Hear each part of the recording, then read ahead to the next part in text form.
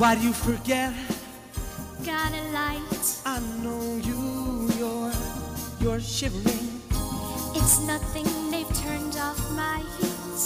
And I'm just a little weak on my feet. Would you light my candle? What are you staring at? Nothing, your hair in the moonlight.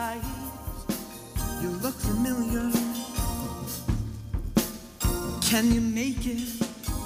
Just haven't eaten much today. At least the room stops spinning.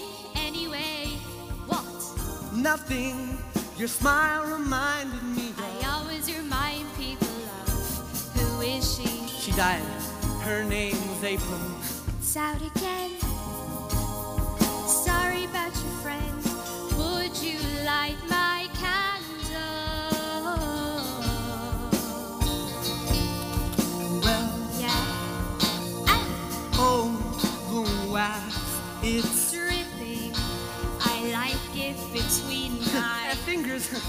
figured.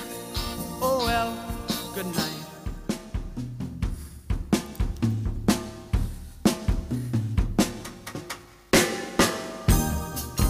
It blew out again.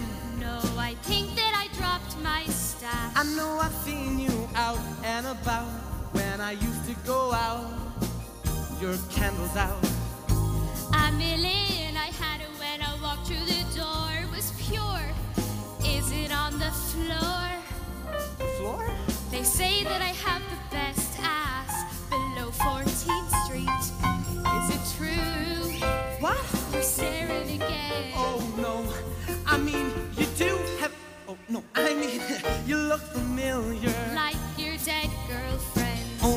You smile, but I'm sure I've seen you somewhere else. Do you go to the Cat Scratch Club? That's where I work.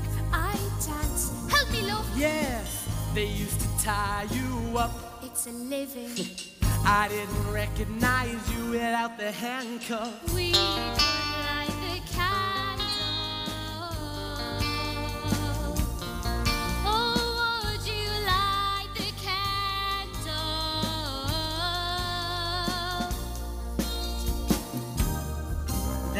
my last match. Our eyes will adjust. Thank God for the moon. Maybe it's not the moon at all. I hear Spike Lee shooting down the street. Bah humbug. Bah humbug. Cold hand. Yours too big, like my father's. Do you want to dance? with you. My father. I'm Roger. They call me, they call me, me, me.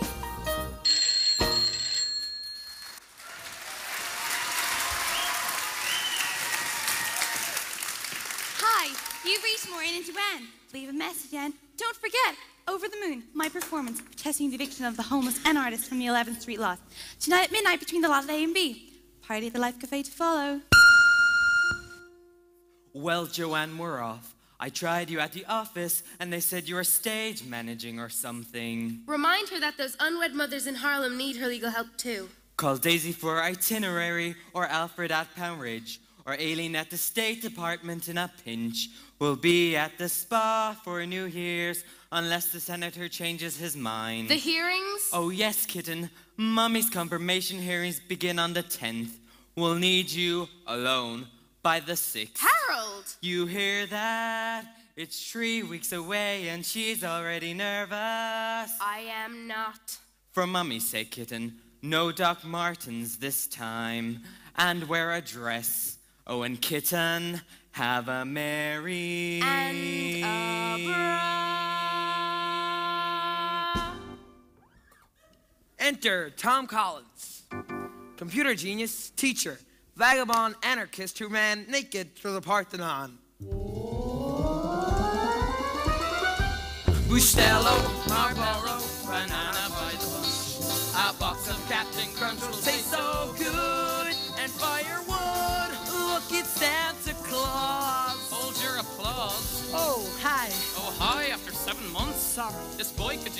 some. Oh, holy night, you struck gold at MIT. They expelled me for my theories of actual reality, which I'll soon impart to the couch potatoes at New York University. Still haven't left the house. Oh, I was waiting for you, don't you know? Well, tonight's the night. Come to the Life Cafe after Maureen's show. No, Flo. Gentlemen, our benefactor on this Christmas Eve, whose charity is only matched by talent, I believe, a new member of the Alphabet City avant garde, Angel Dumott Schunard.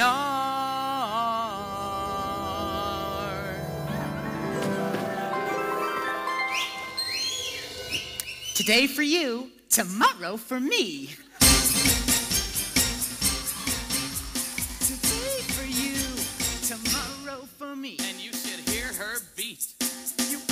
On the street? It was my lucky day today on Avenue A when a lady in a limousine drove my way. She said, Darling, be a dear. I haven't slept in a year. I need your help to make my neighbor's yappy dog disappear. This Akita, Evita, just won't shut up.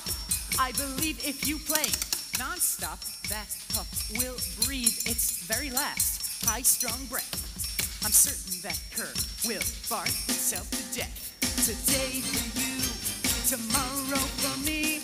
Today for you, tomorrow for me. We agreed on a fee, a thousand dollar guarantee, tax free, and a bonus if I trim her tree. Now who could foretell that it would go so well? But sure as I am here, that dog is now in doggy hell. After an hour, Evita in all her glory on the window ledge of that 23rd story, like Thelma and Louise did when they got the blues. So I dove into the courtyard of the Gracie Mews. The day for you, tomorrow for me. The day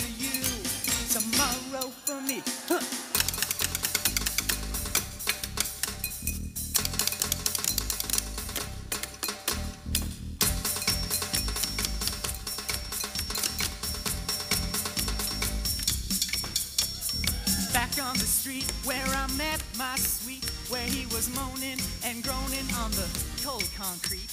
The nurse took him home for some mercurochrome and addressed his wounds and got him back on his feet. Singing today for you, tomorrow for me, today for you, tomorrow for me. I said today for you, tomorrow for me, today for you, tomorrow. Oh, oh.